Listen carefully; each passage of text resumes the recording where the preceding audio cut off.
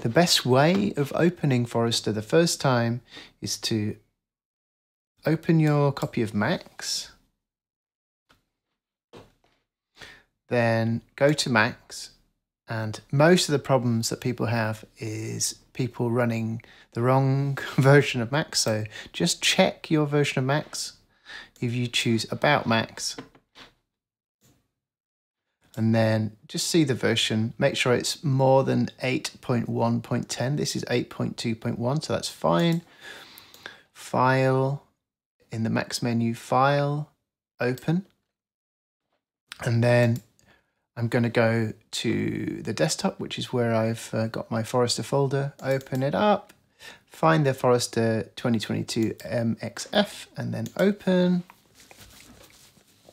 There we go. And that is the interface for Forester. Um, if I close that, now, now that I've done this uh, process, I just go File, Open Recent, and then pick Forester, and we're in business. Um, so quickly setting up the audio. I'm going to click the DSP Open button, which opens the audio status window. Now, it might be that your um, audio status uh, button comes grayed out, which means that the audio is not on. Um, so you need to set your driver. On a Mac, this is core audio. On a PC, you need to choose whichever um, your sound card or built-in audio is. Uh, you can select your input device. So I'm going to choose my Fireface UFX. An output device for me would usually be the Fireface, but I'm recording this uh, through Zoom Audio device. So I'm going to leave that selected. Your sample rate. Um, zoom is 48k, so I'm going to leave it there. Um, and then your vector size, I.O., is your buffer. Your, it sets your latency in and out of your sound card. Um, if you have sort of crackling or problems with the sound, you might want to put this up to 512. For me, 128 is fine. Signal vector size, I would just leave this alone um, maybe 512 if there's problems with your sound, but for me, 128 seems okay. Overdrive, I'd have that switched on. Don't worry about this one. Um, the input is where you select you, the uh, how you get sound in to Forester. So I've got a synthesizer coming in on 9, I think. So I'm going to leave it 9 and then the second channel I've got nothing coming in because it's mono. So I'm going to leave that switched off.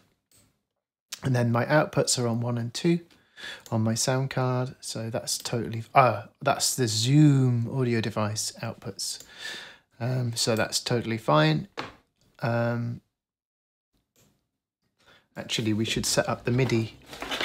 So I'm going to plug in my MIDI controller just wait for that to switch itself on. If you want to use MIDI, you go Options menu, MIDI setup, and then you find your MIDI interface in the inputs. I'm using Arturia Minilab Mark II, and then just click on the abbreviation and change it to A.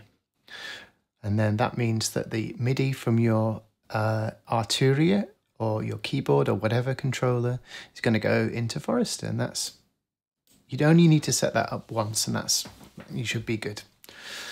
The first sounds you make with Forester, I suggest you go down to the bottom left-hand side where the presets are and just pick a preset like chimes five ways. It's a nice one. And then just drag. Ah, no sound. So DSP open, forgot to turn the sound on. Once you've set up your audio, you should only have to do this once, but you, you know, that's a, a little tip. If you don't get sound, just go in the audio, switch it on. Now we should get sound.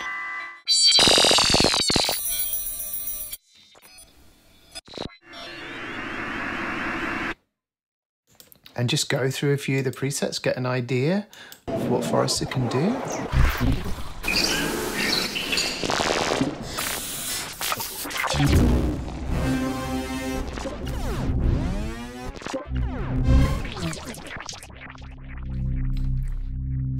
Some of the presets are for live input. So um, if you look at live input effects, that will work with your uh, external input, which you set up here. So let's just see if that's working. Yeah, that's my synthesizer playing there. So if I play maybe an ARP on the synthesizer,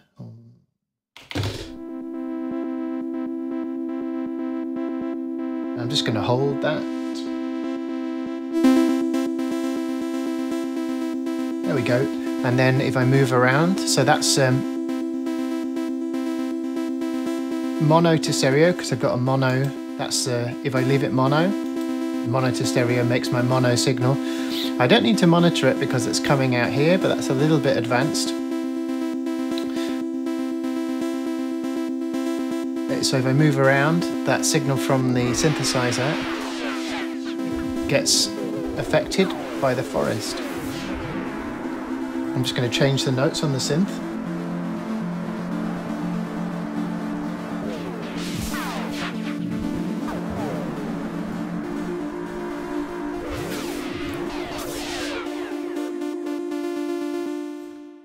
So that's the basic first steps of getting Forester up and running, making your first sounds.